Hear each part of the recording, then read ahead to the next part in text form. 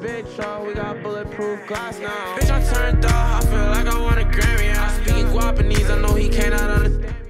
So, eight weeks of Cash Cup for Nintendo Switch and Fortnite Mobile are finally over.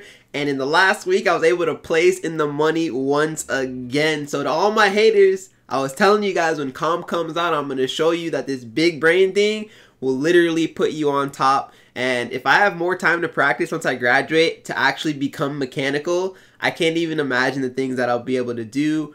But to all of my supporters, thank you guys very much. I'm glad that I'm able to represent the Switch community and to put us on the map. I know our community gets a lot, a lot, a lot of hate, you know, especially from the mobiles talking about Switch players are so trash, they can't compete, this and that. So me being able to place, you know, two weeks out of the eight and then technically it would have been three weeks in week two where I got 31st place, but then they had the prizing for only top 10 instead of top 40 which is totally okay. But either way, I always place somewhere between 18th place and 60th place every single week, showing them that we are out here to compete as well. So best of luck to all of you guys playing in Winter Royale duos. I know solos is very, very hard to compete in, especially with limited uh, prize spots. But with duos, they're literally handing out money. So I hope a lot of you Switch players do well and you're able to capitalize and clutch it up.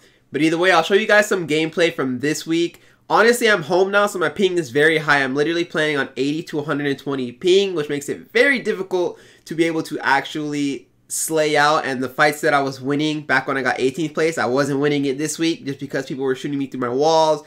Builds weren't going down, delay, you know, all that good stuff. But somehow we ended up in the money. So just enjoy the video, guys, and I'll see you in the next one.